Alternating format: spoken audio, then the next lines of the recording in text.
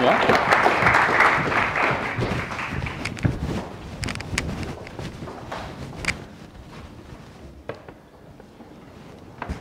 à tous, euh, je m'appelle Pierre Marcenac, je suis data scientist euh, chez Kili.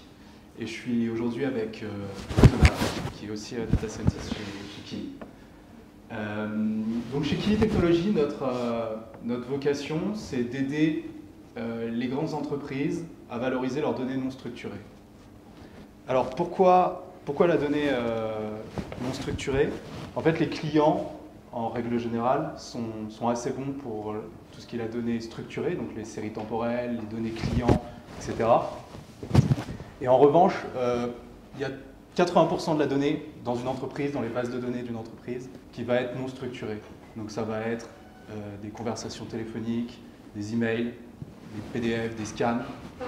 Et en fait, cette donnée, on, peut, on pourra la valoriser, euh, on peut la valoriser, en tirer de la valeur euh, assez facilement avec du machine learning. Et ce qu'on a remarqué, c'est que euh, dans ce processus, ce n'était pas les algorithmes qui, étaient, qui étaient le point limitant, c'était plutôt la donnée. Parce que la donnée, on ne peut pas la mettre sur le cloud, pas forcément sur le cloud pour les grandes entreprises. Euh, euh, elle n'est pas structurée, donc on ne peut pas appliquer les algorithmes qui marchent le mieux, qui sont les algorithmes euh, par apprentissage supervisé. Et donc du coup, notre motto chez, chez Kili, c'est qu'il vaut mieux un algorithme simple sur beaucoup de données qu'un algorithme state of the art sur peu de données. Et qui dit avoir beaucoup de données, euh, dit euh, la labelliser, la noter. Et donc aujourd'hui, euh, on va vous expliquer comment nous, on a construit un pipeline d'annotation et comment est-ce que on accélère ce pipeline d'annotation avec le machine learning. Alors, trois parties. On va commencer par voir pourquoi est-ce que la notation c'est compliqué et pourquoi est-ce que c'est central dans, dans l'intelligence artificielle. Ensuite, on va voir comment est-ce qu'on met en place notre, euh, notre workflow euh, euh, chez Kili et comment est-ce qu'on l'a euh, euh, accéléré avec le machine learning. Et enfin, on va voir un, cas concret sur quelque chose qui va euh, vous intéresser, la computer vision, euh, et euh, de la notation, mener un projet d'annotation et l'accélérer avec le machine learning euh, en computer vision. Donc pourquoi est-ce que, euh, pourquoi est-ce que la, notation, c'est une tâche qui est plus compliquée que, que ce qu'on pourrait croire? Alors l'IA, c'est trois choses, c'est la puissance de calcul, mais ça, avec la démocratisation du GPU, euh, c'est assez facile de se la procurer. C'est des algorithmes, euh, mais les algorithmes, on les trouve, ils sont disponibles sur GitHub, il y a toute une communauté open source qui permet de, de les reviewer, de les animer. Euh, donc pas c'est pas vraiment le, problème. Le vrai problème, c'est vraiment la donnée. Comment est-ce que je vais structurer euh, ma donnée au sein de mon entreprise? Et donc qui dit euh, la structurer dit la noter donc. Et la notation, ça se fait par des humains. Et donc là, il y a trois facteurs qui entrent en, compte. C'est j'ai besoin d'interface, d'une UX claire. J'ai besoin de monitorer la qualité de- des annotations qui sont produites. Et j'ai besoin de, faire tout ça at scale avec beaucoup d'annotateurs. Alors pourquoi Pour vous donner un ordre de grandeur, on travaille avec, on a un projet avec un, retailer euh, qui veut faire comme euh, Amazon Go, donc euh, la facturation en sortant directement du, magasin. Un magasin, c'est euh, 100 000 références. Si vous voulez, annoter, avoir 10 exemples pour chaque référence, bah, vous allez devoir vous allez devoir faire euh, un million d'annotations, et donc ça va prendre, euh, prendre du temps, donc il faut le faire at scale.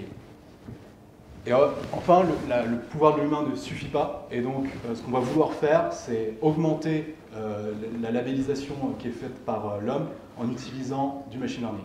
Et c'est ça qu'on va voir aujourd'hui. Donc comment est-ce que- comment est-ce qu'on le fait? Alors déjà, je vais peut-être montrer les interfaces sur, sur, des, sur des cas concrets. Donc ici, on a un client qui fait de la détection de cellules cancéreuses, euh, donc qui a besoin de faire des annotations au pixel près, euh, les annotations sémantiques. Euh, ici, ici c'est euh, justement le, le retailer euh, euh, dont je vous parlais qui, euh, euh, qui, fait des bounding box, euh, euh, avec sa particularité, c'est d'avoir énormément de catégories, on a besoin de chercher efficacement ces catégories. Et donc, comment s'inscrit le, le machine? Alors, ici, j'aimerais vous présenter euh, le voyage d'un asset, ce qu'on appelle un asset dans, le pipeline de Kili. Alors, un asset, c'est quoi? Chez nous, c'est l'unité de base de la notation. Donc, ça va être une image, ça va être euh, une vidéo euh, sur laquelle vous faites la détection d'objets ou, une image que vous classifiez, par exemple. Et ce qui est intéressant, c'est que l'asset va être... on va utiliser Kili à deux endroits euh, dans, le, dans, dans, le, dans, le voyage de cet asset, euh, à la fois pour euh, constituer le dataset d'entraînement, donc tout en amont dans la partie de modélisation, et après en aval, en monitoring de, de, la production pour monitorer, voir exactement les labels qui sont produits par, par le modèle et pouvoir monitorer la performance des, des, modèles en production.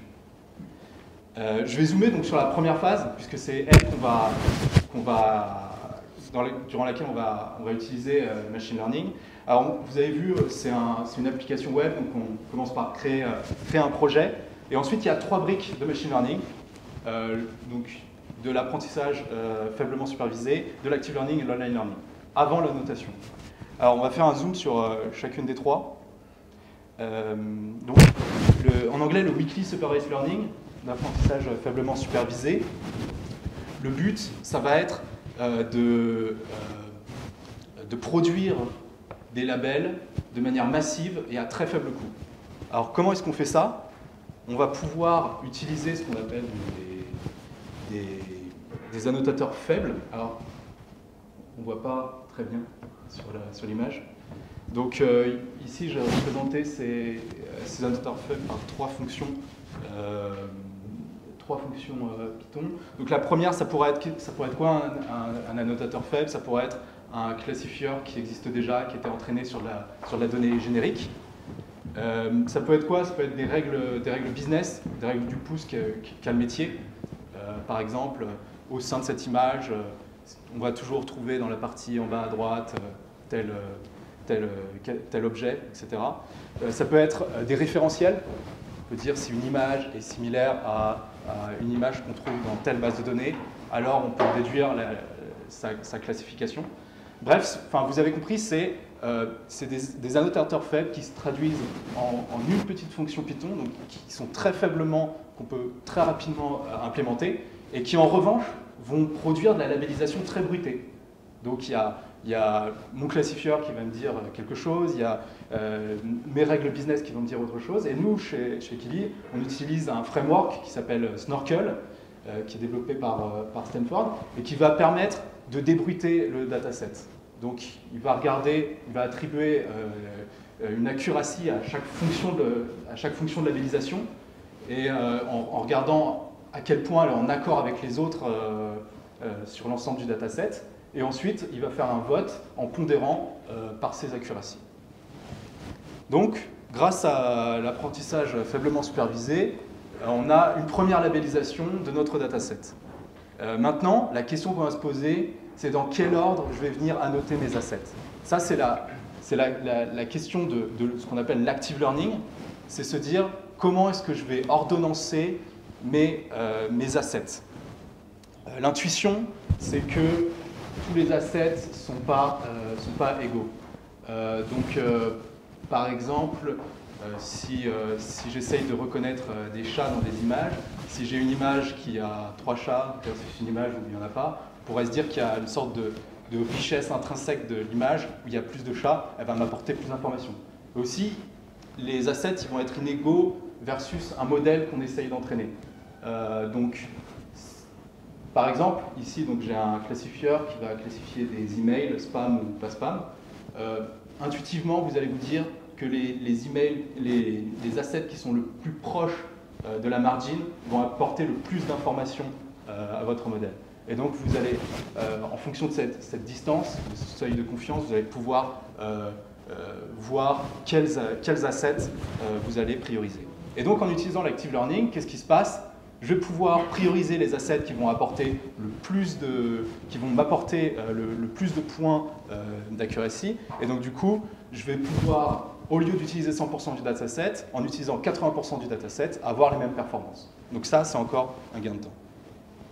Et la troisième brique, euh, ça vous le connaissez mieux, c'est le learning, c'est la, capacité à, à, construire un modèle au fil de l'eau. Donc mes annotateurs annotent, et je vais pouvoir construire mon modèle avec euh, les, 10%, les 20% du dataset qui sont annotés, et ensuite euh, pouvoir préannoter euh, préannoter les, les, labels pour que l'annotateur ait plus qu'à faire quoi? Il arrive, il corrige légèrement l'annotation qui est proposée par le modèle et il la soumet.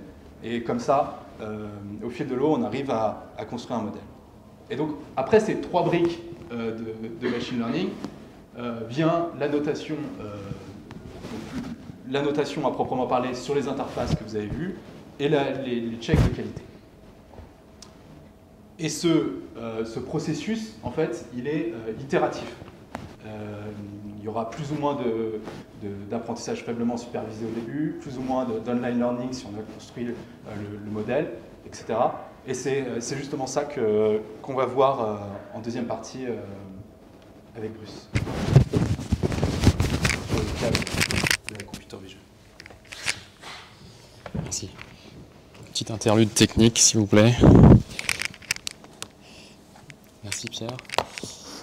Donc j'aimerais vous montrer bah, un exemple d'application de la fusion entre machine learning et la notation sur la computer vision.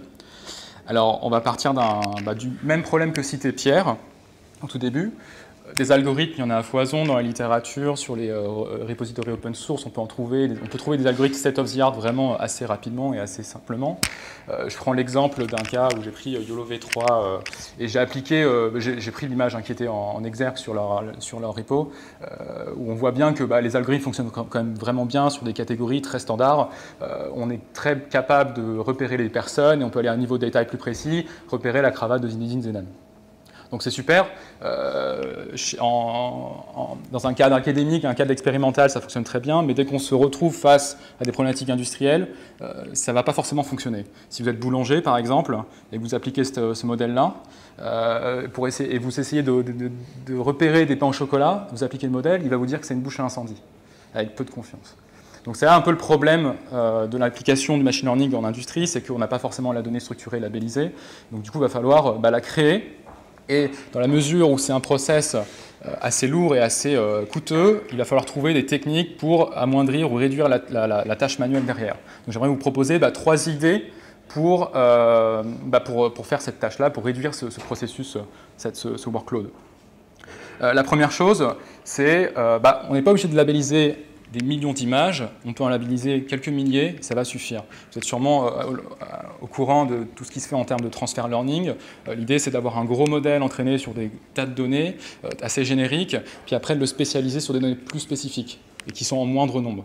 Avec l'idée derrière que, euh, en, essayant de ne pas repartir from scratch de, zéro, et en repartant d'un modèle qui a déjà une bonne connaissance visuelle, ou linguistique, ou même en termes de son, on va pouvoir garder, avoir une bonne précision, et en même temps arriver à le spécialiser sur un cas plus particulier.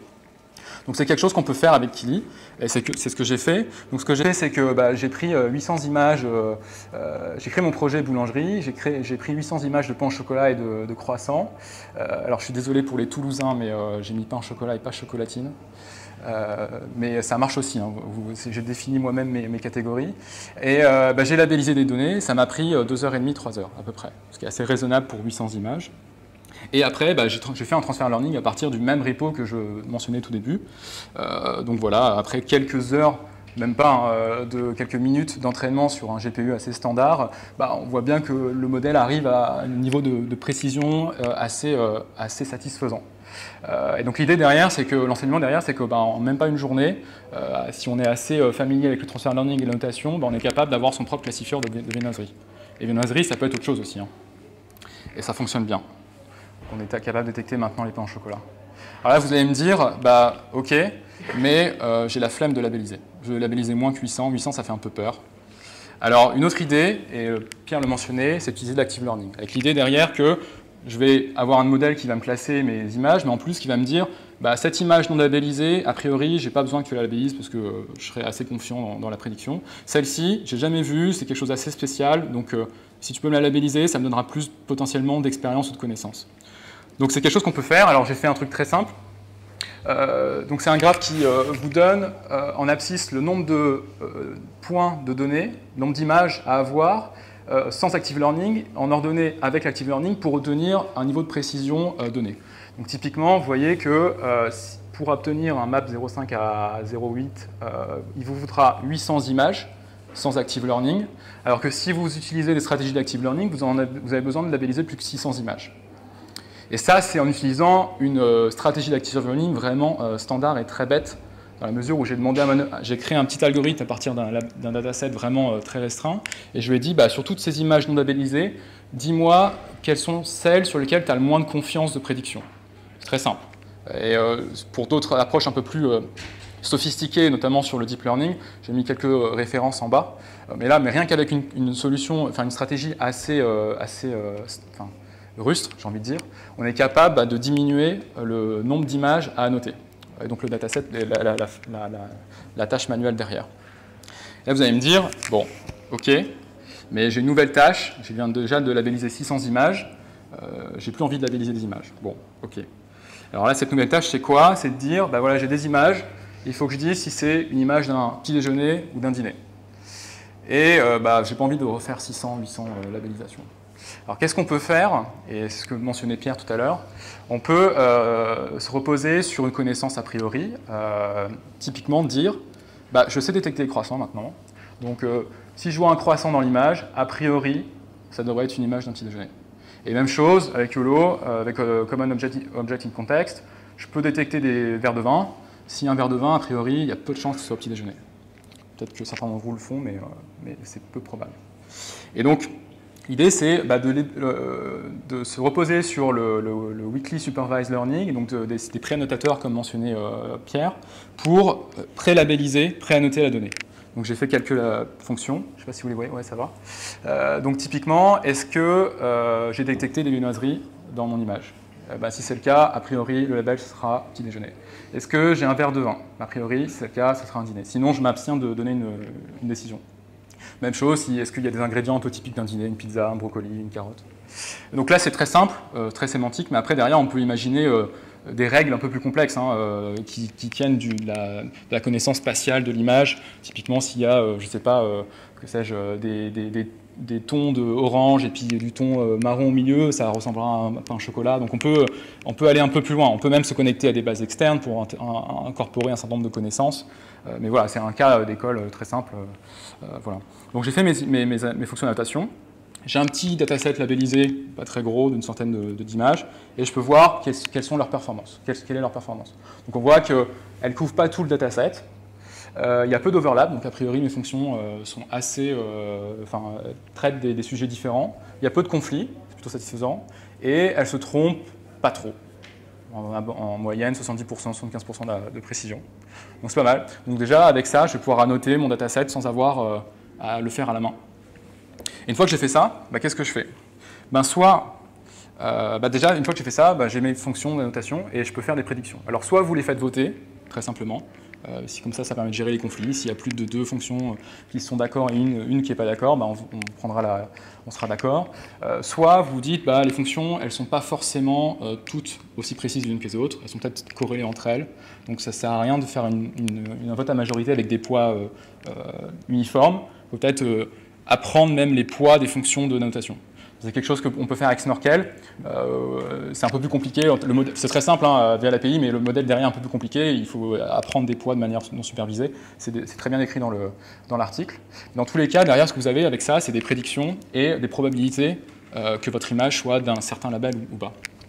Et à partir de là, qu'est-ce que vous pouvez faire? Soit vous l'utilisez euh, directement comme un, un système d'inférence, mais ce n'est pas forcément le plus souhaitable parce que dans la mesure où vos fonctions vont parfois s'abstenir, vous ne serez pas capable d'avoir une décision sur tous les assets possibles. Ou alors, bah, vous utilisez, comme le disait Pierre, euh, ces euh, fonctions d'annotation comme un moyen d'avoir une pré-annotation, une prédiction, et après vous n'avez plus qu'à revoir et à corriger éventuellement les erreurs.